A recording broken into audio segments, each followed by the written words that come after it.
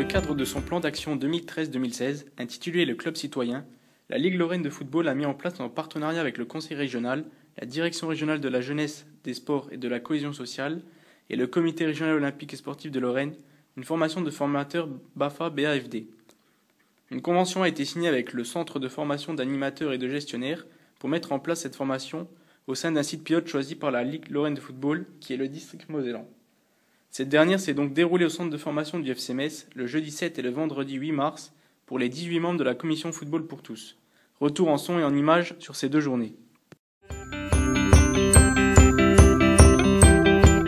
Cette structure d'encabilité, bien entendu, on l'a fait reconnaître euh, dans le cadre d'une convention que nous avons pu monter donc, euh, en commun avec bien entendu euh, les services de l'État, donc puisqu'il fallait quand même la faire valider auprès donc du ministère donc jeunesse et sport et la direction régionale. Et bien, pour en ce qui me concerne, ça m'a permis aussi de pouvoir être en immersion au sein de cet organisme pour collaborer et participer dans le cadre des formations de formateurs qu'ils accomplissent, donc avec d'autres acteurs que les nôtres, et ce qui m'a permis, donc en l'occurrence, d'être également formateur, mais de voir la manière dont ils travaillent et la qualité donc, dont ils ont fait preuve pour pouvoir valider le partenariat qu'on met en œuvre avec la Ligue Lorraine et puis bien entendu le CFAG.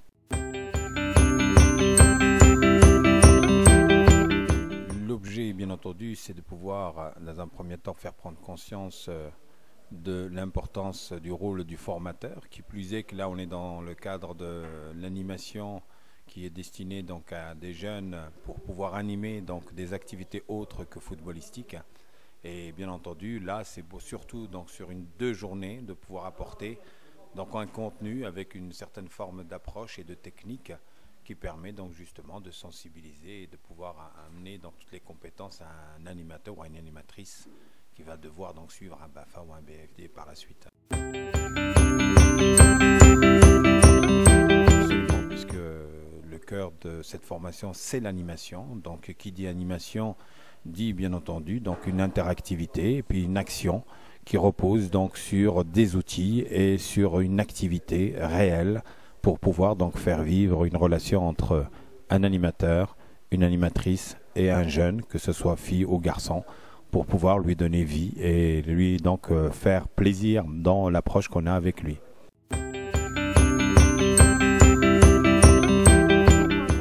l'atelier euh, technique manuel, ça fait partie véritablement des moments forts des activités en accueil collectif du mineur, puisque nous sommes beaucoup sur de la euh, construction, sur euh, euh, l'innovation, l'imagination, le mettre en forme à travers des ateliers.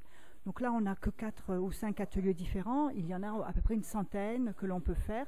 Et là, c'est une première expérimentation. Mais c'est véritablement le quotidien de nos accueils collectifs de mineurs. J'ai envie de te dire, ça te permet d'ouvrir ton, ton esprit, ton esprit d'initiative notamment. Moi, je suis pas forcément très à l'aise avec ces activités euh, manuel, j'ai envie de dire, mais ça permet aussi de collaborer, de se donner des idées. Et je crois que c'est avant tout de faire preuve de patience et beaucoup d'imagination. Et je pense que c'est des mots d'ordre dans, notre cursus de formateur. Euh, la découverte, c'est ce qu'on est capable de faire ou de pas faire. On s'étonne soi-même déjà. Pour commencer, moi je ne connaissais rien du tout. Je suis pas manuel moi, mais euh, c'est intéressant et de voir que c'est tout à fait possible avec un peu de matériel. Par transfert, théoriquement oui, on vous le dira par la suite, mais euh, je pense que coordonner des activités qu'on ne maîtrise pas comme euh, les activités manuelles, euh, c'est d'autant plus important que parler de foot et des choses qu'on connaît, qu'on maîtrise, qu'on travaille tous les jours.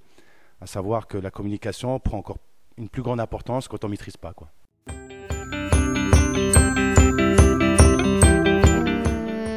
on peut apprendre l'initiative, il faut euh, l'initiative qu'il faut avoir par rapport aux jeunes qu'on va avoir à encadrer. Euh, ouais, ça nous montre qu'il faut un petit peu, un petit peu, il faut faire preuve de volonté, être volontaire par rapport à eux, euh, ouais, prendre en main un petit peu les choses, les pas les pas les laisser tout seuls, faire leur petit leur petit masque ou voilà, faut les aider.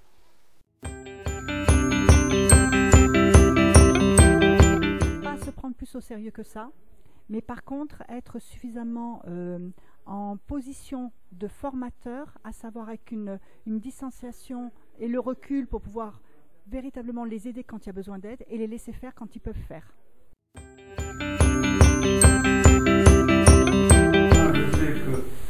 vous avez été sélectionné, choisi par rapport à vos compétences, à votre, vos acquis dans le football, avec ce que l'on attend de vous par rapport, je dirais, à nos, à nos objectifs. Ici, vous allez, on vous a donné les clés de la réussite, en tout cas je l'espère. Vous, comme je disais à madame, on va vous donner des clés, à vous de savoir ouvrir la bonne porte. Et après, ben, on dit, la voie royale vous est tracée. Donc l'avenir vous appartient. Vous en ferez ce que vous voudrez que ça devienne. Donc merci à tous et à